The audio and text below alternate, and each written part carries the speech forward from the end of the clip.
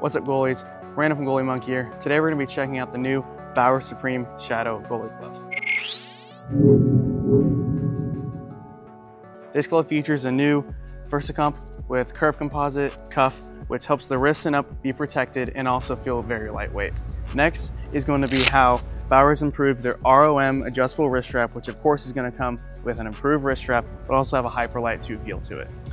Next is going to be how Bauer has implemented their DuraConnect to this glove, which helps it have a very good and nice control feel to it when making saves and while also playing the puck.